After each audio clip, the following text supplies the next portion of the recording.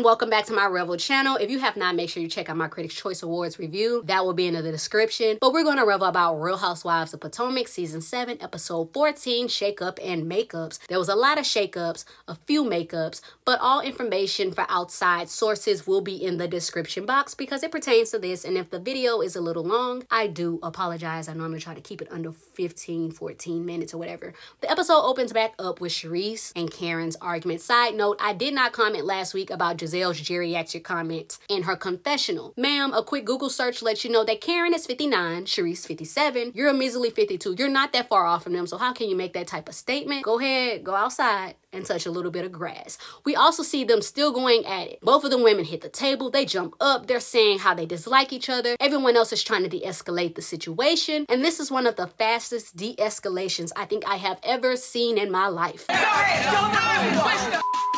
Two seconds later. what did I say that was disrespectful to your I mother? question your genuineness. How do you do all that? And then it's, this is my issue that I really have with you. You know what I'm saying? Like, where did that even come from? That lets me know that you were doing too much. Karen mentions that her issue is that with Charrisse, you came to the funeral and you didn't just come there to support me. You came there and then later, like a couple of, what, two months afterwards, you sat there and you tried to bring it up on camera at Candiace's event. Charrisse then said that she was being a good friend because she was there for Karen, but Karen wasn't there for her. Then we get Charrisse's confessional. I think Karen is trying to convince other people that I have ill intentions.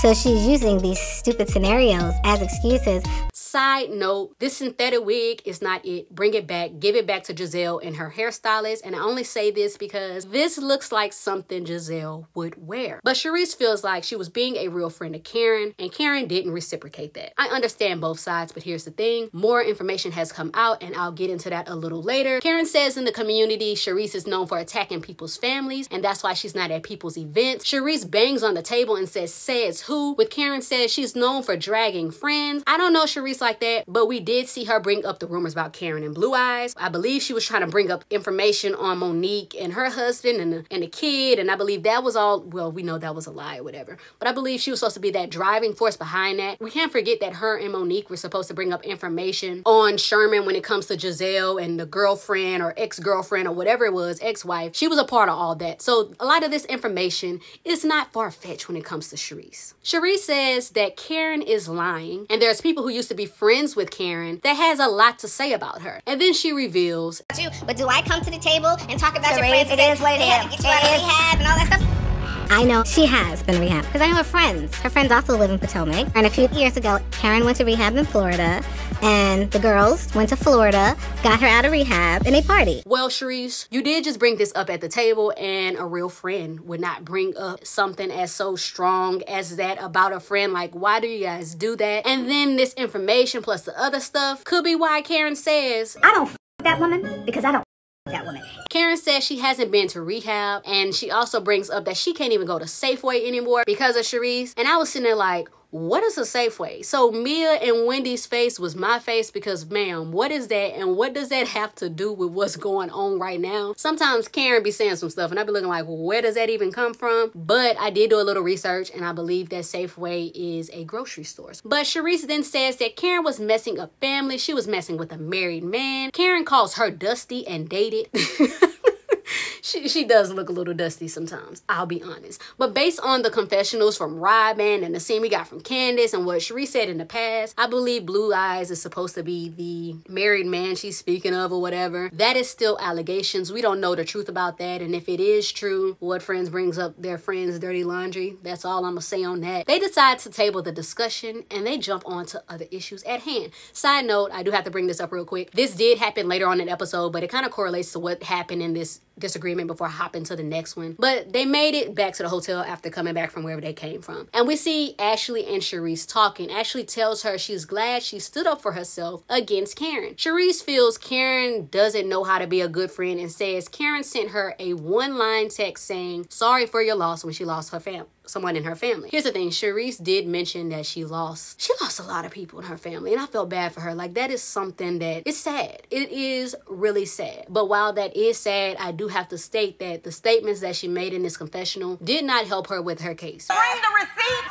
Do I need to bring the receipts? no. Because Karen did reveal on her social media, she did reach out to her and it was not a one-lined text. Here's the image right here. She chose to post a video and here's why this is better than posting a snapshot or something. We can see it in real time and we know it's not Photoshop. Charrisse, this goes against everything you just stated and makes me wonder were you telling the truth about anything else when you're sitting at that table? Candiace says that Jacqueline expressed that she was very hurt. Gizelle amans it and says she's recommend Mia and her fix it. Jacqueline says that she can have that conversation with her, but it'll be separately because she's just getting to know them. I think private conversations definitely work because you don't have everybody else's inputs and you can really get to the root of the issues. And while that is normal for me, I want y'all to hear me out real quick. Mia made some crazy statements in front of the whole group. So that conversation can be had at that table so it can be cleared up because right now people could easily be looking at her as a homewrecker. Allegedly, we don't know how true that is. So this could have definitely flushed out those true or false statements. Or maybe Jacqueline just doesn't care to even clear it up and she doesn't care what the other women thinks. But everybody leaves the dinner and then we get the women having fun. They're dancing, they're doing what they're doing. And then we have Mia and Jacqueline talking. Jacqueline says it was unacceptable for Mia Mia to say she doesn't have friends and to make accusations of her being with married men. She felt Mia was insinuating her messing with Gordon and the things she was saying are lies. Mia feels like, well, what did I lie about? And tells her to own her stuff. Jacqueline then says the friendship is over and like I said in my last review, the friendship should have been over because y'all have done a lot to each other. But on the screen from what we can see right now, Mia is not a real friend. Why would you double down on that? Why has you not came out and said no, she did not mess with Gordon. Why are you fueling this fake storyline? It's giving desperate, Mia. This was the time for you to actually sit down, talk about it. But of course, Mia, you just you you you just don't know how to be real. So it is what it is. Something is wrong with her. I want to add this here now because it relates to this later on in episode. Again, I have another one that kind of relates to something, but it was like small little stuff here and there. We see Karen and Candiace sitting down and they talk about Jacqueline and Mia and they say they feel like they could work this out if they keep everyone out of it. But clearly we know that that didn't happen. But in their confessionals, we see them both talk about each other and their disagreements. Fights are,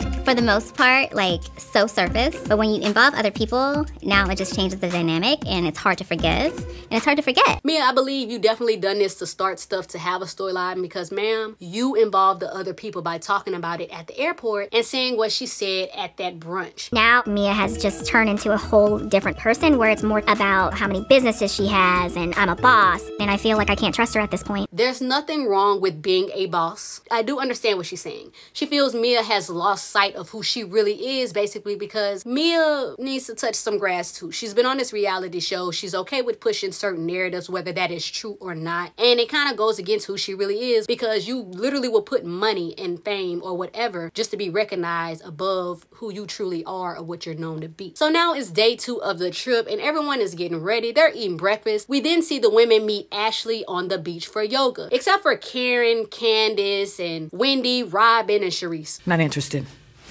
I don't want uh Sandy. I love Ashley, and it's her birthday. Can we just lay on a damn pool chair and drink pina coladas? I get it, but listen, yoga is great. It just doesn't help you relax. It can actually help you strengthen and tone the body. And then it also helps with flexibility. It can help with the breathing. And a lot of times, a lot of people don't know that their breathing is off. So I definitely recommend breathing exercises when you go and do yoga. The women are trying to figure out what is this? I was trying to figure out the same thing. And the moves, I don't know. It, I don't know what they had going on. Maybe she was teaching them some stuff or maybe they were doing it wrong. If you have done Kundalini, let me know. But we also see Candiace and Karen off to the side and she tells her how they had fun at the bar. Like I said, they discuss Mia and Jacqueline. And then Karen says she was hoping she could come out here, have some fun and just have a good time and relax.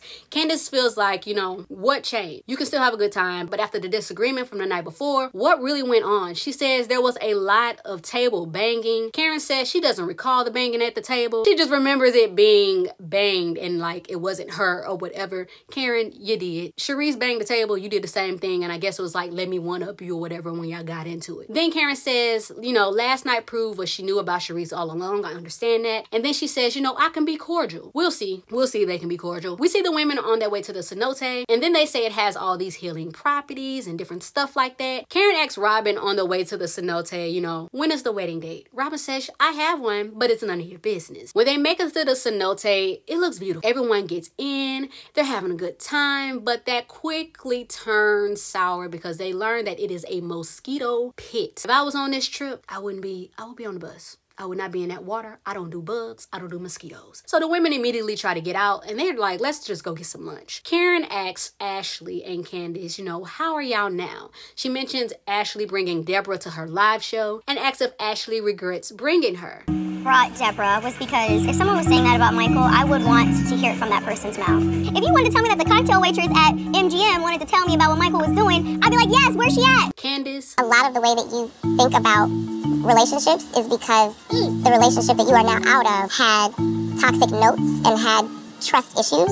My hope for you, honestly, is that you receive a relationship where you don't have to feel like, oh, I need to know talking to my man. Like that, that's not what it should feel like.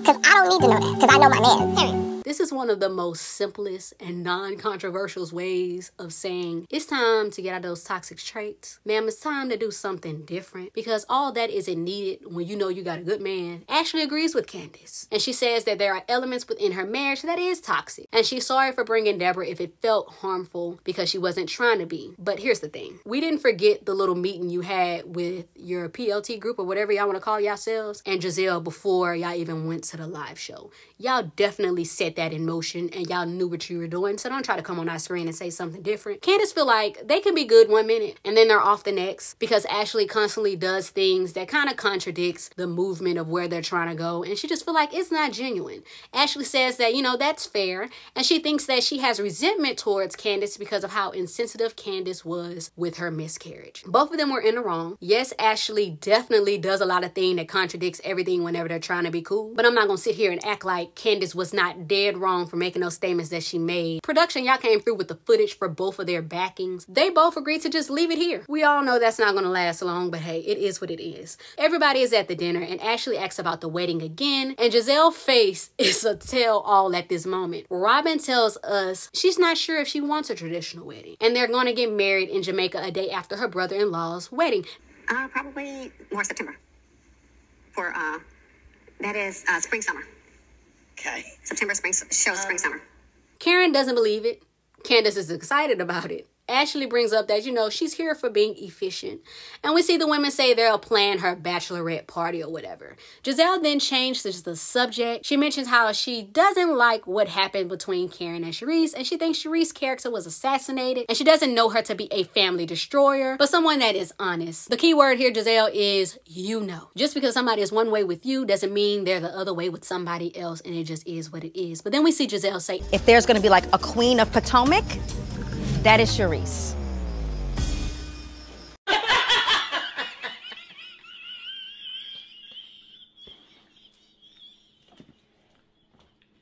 Hear me out, y'all. Charrisse may be that girl in Potomac, but on the show, not so much. She hasn't made her present known this year, and yes, she is the reason the group has come together. I talked about that on my Real Housewives of Dubai season review. I did talk about how with most of the shows when it's new, you're gonna get somebody that's that staple, and you're gonna bring in their friends or acquaintances or something along those lines. Dubai had Stansberry, but just because Stansberry would be considered, you know, the queen, da da da da da, she brought them together. She was not the breakout star. The queen is a Ayan. She stood out. So the same thing is with Potomac. Charrisse may have brought them together, but the breakouts, the stars, was Gizelle and Karen. It just is what it is. She's not that girl that y'all make her out to be. I'm a fashion girl. I pay attention to a lot of stuff. Y'all want me to believe she's that girl sitting at that table looking like that? She doesn't even try. I'm just saying, she doesn't even try to make it seem like she's that girl. Karen tells her to just stop. Gizelle says, you know, I can have my thoughts. And Karen said, yes, you can, but nothing else has to be said on that issue. Robyn jumps in and listen, Robyn has this problem really bad. Robyn, this is why you had that issue with Wendy. You always want to hop in when Gizelle is having a conversation with somebody else or having something else being said. Just sit there and eat your food sometimes. But Robyn hops in and says, everyone in the group is held to the fire for the things they say or do, but how is Karen off limits? In the spirit of Wendy right now.